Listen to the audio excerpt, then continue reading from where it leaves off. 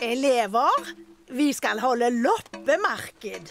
Og pengene vi får inn, skal gå til nytt skoletak. Hurra! Alle må gi bort én ting til loppemarkedet. Hva skal de gi bort? For eksempel en gammel leke eller noe dere ikke bruker lenger. Mjau. Foreldrene har kommet for å hente barna. Takk for i dag. Ikke glem å ta med leker til loppemarkedet i morgen.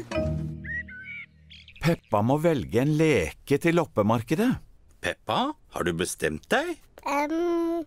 Du behøver bare å velge én leke. Ja, og den bidrar til å betale for nytt skoletak. OK, da vil jeg gi bort Herr dinosaur. Herr dinosaur er favorittleken til Georg. Peppa, du kan ikke gi bort herr dinosaur. Kan jeg ikke? Nei. Nei, det er sant. Unnskyld, Georg. Dinosaur. Kan du ikke gi bort det gamle troll i eske? OK, nå er det din tur, pappa. Hva? Alle må gi bort noe til loppemarkedet. Jeg gir denne hatten, og Georg gir ballen sin.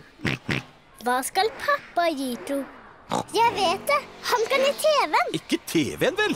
Nei, den bruker vi for mye. Um, jeg har det! Pappas stinkende tøfler. Nei, lukter for vondt. ja, jeg vet det. Pappas gamle stol. Men den er antikk. Hva betyr det å være antikk? Det er når noe er veldig gammelt og verdifullt. Men du fant den jo på fyllinga, pappagris. Den er ikke verdt noe. Den blir mye verdt når jeg får lappet den.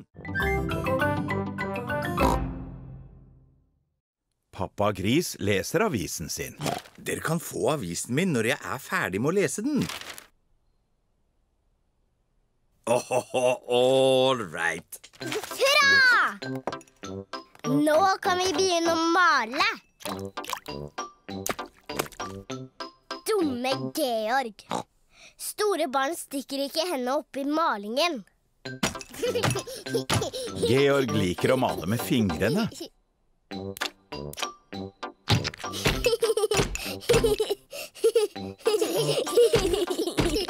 Det blir flott.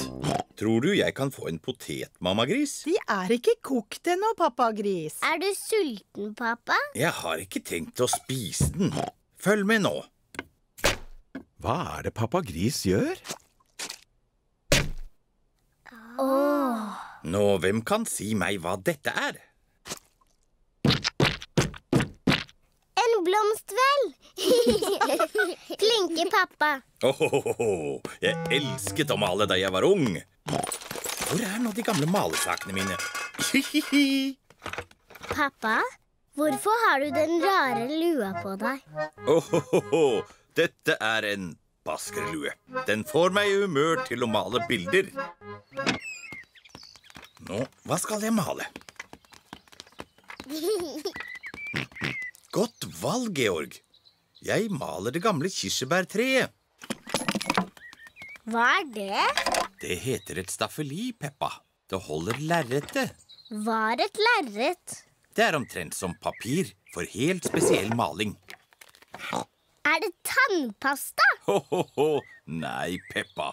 Dette er spesialmaling for voksne malere.